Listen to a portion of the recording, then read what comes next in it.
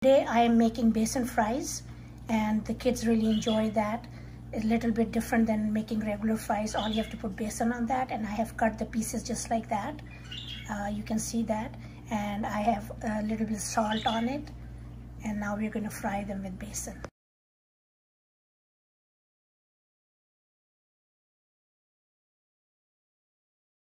I have some besan in here with the red chilies, a little bit of half a teaspoon of red chilies and half a teaspoon of salt. So we are going to use that for to make our besan fries today.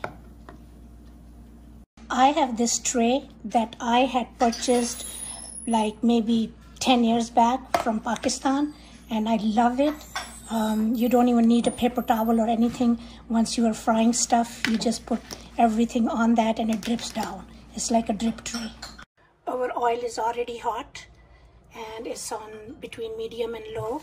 So what we are going to do is just take a piece of uh, potato.